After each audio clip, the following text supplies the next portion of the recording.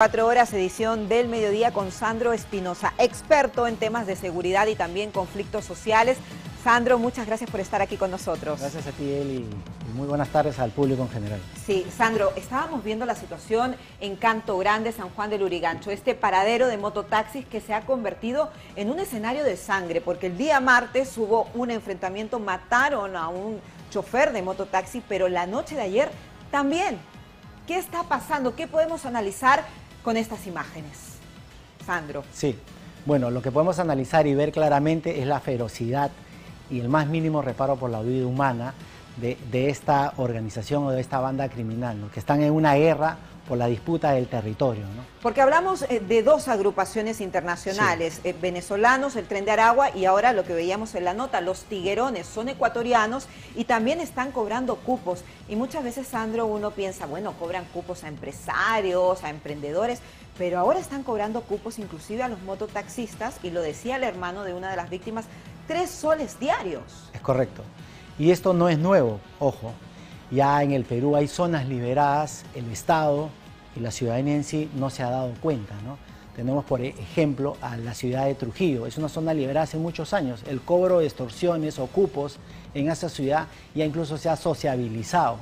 Los delincuentes incluso han llegado al punto de entregar recibos por honorarios o facturas por el cobro de la, extorsión. ¿no? E, ese es el nivel, ¿no? Y no queremos que ocurra también en la capital. Me gustaría contigo analizar, eh, justamente también con nuestros compañeros del Switcher, el momento del ataque del pasado martes en Canto Grande, en este paradero de mototaxis donde vemos cómo se bajan dos sujetos y uno con un arma, aquí lo tenemos Sandro, cuando lo intercepta, que yo digo, ¿qué cantidad de caserina tiene? Porque no solamente disparan a los choferes que al parecer no habían pagado el cupo, sino también a los pasajeros. Ese es el momento.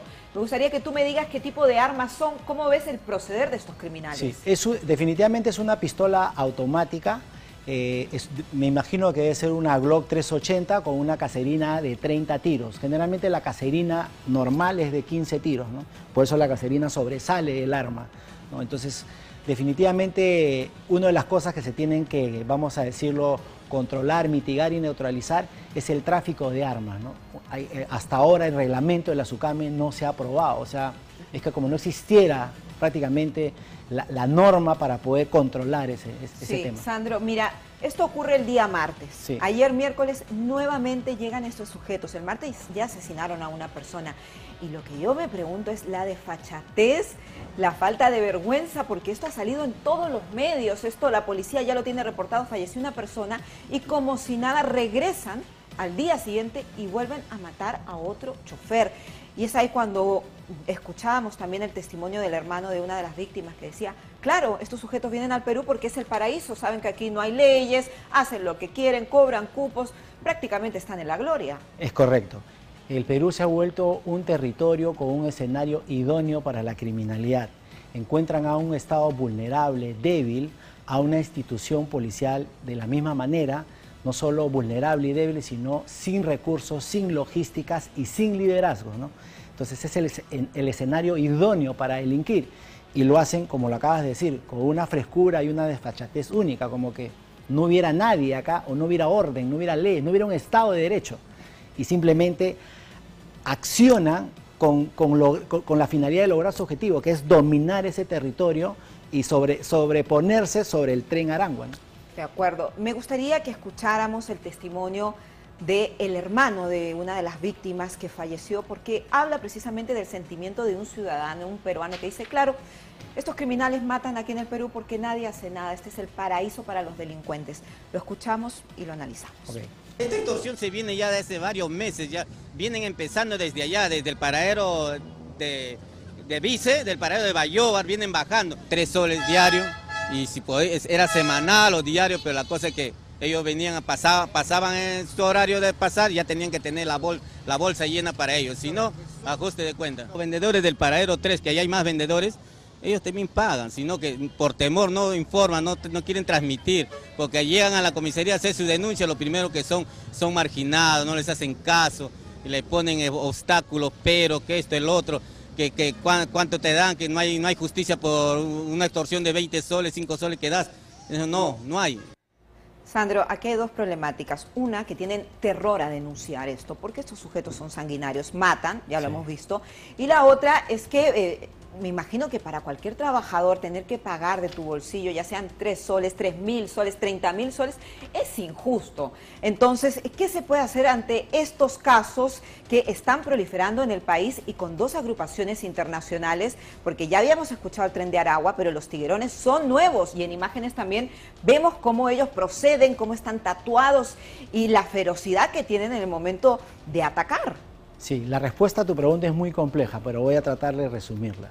En el Perú existen cuatro delitos fuentes. Narcotráfico, minería ilegal, tráfico de tierras y extorsiones. Los dos primeros delitos son muy complejos de, vamos a decirlo, de mitigar o neutralizar. Pero estos dos, sí, el Estado en este momento y la Policía Nacional podría hacer algo.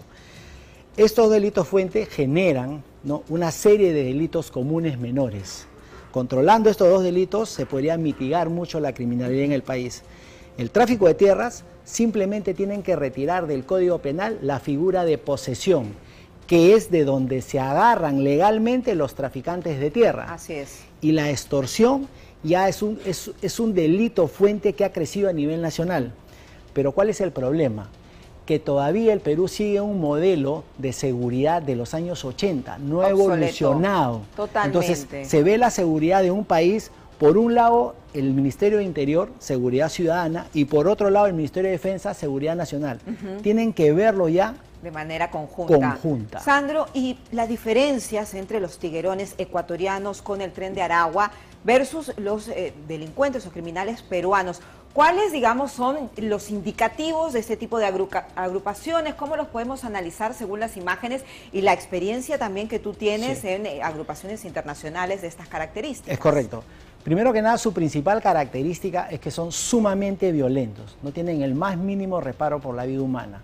El delincuente peruano, nosotros nos hemos, vamos a decirlo, impresionado por algunos hechos de violencia, pero ellos sobrepasan esos límites ya. Capaces de matar niños. No solo matar niños, sino descuartizar a las personas vivas, eh, asesinarlos este, a sangre fría con un disparo en la cabeza, mirándolos.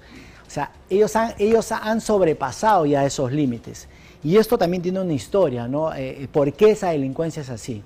Eh, este, esta banda de los tiguerones nace a raíz, vamos a decirlo, de una disputa que hay hoy en día en Ecuador entre el cártel de Sinaloa y un nuevo cártel que se denomina la Nueva Generación. ¿no? Hay una pugna ahí por dominar el territorio y por un plan que trazan los cárteles de México para controlar la ruta de la droga y para controlar el abastecimiento de la materia prima, que es la hoja de coca y la cocaína en sí. La ruta. La ruta.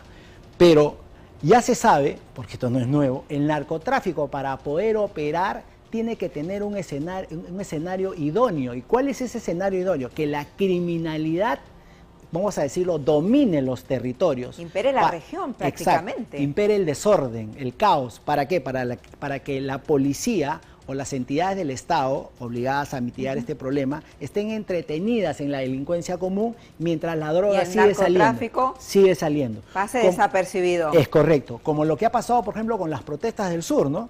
Habían protestas, los narcotraficantes financiaban las protestas mientras ellos sacaban la droga, lo que acaba de ver este operativo hace poco, ¿no? Sandro, eh, me permites, hacemos una pequeña pausa en 24 horas, edición de mediodía, regresamos contigo, regresamos con esos temas muy interesantes, pero...